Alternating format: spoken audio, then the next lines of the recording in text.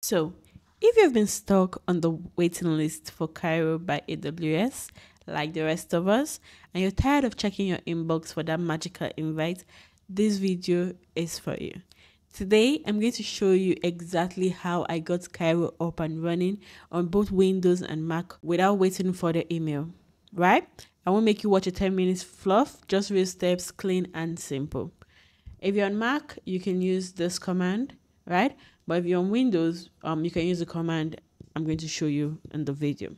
So all you have to do is run um, winget install, right? ID amazon.kiro-e, right? You can see it on the screen. Um, it's going to ask you um, if you can use your country details. You could just pick yes, right? And then it finds the application and install it. It's as simple as that, like very easy for free, 100%.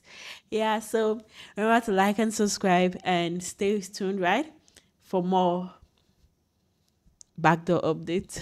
okay, not backdoor, but you kind of know what we show you on this channel, right? So just remember to like and subscribe and turn on your notifications. Thank you. And do remember to join our Telegram community if you're not there yet. Bye.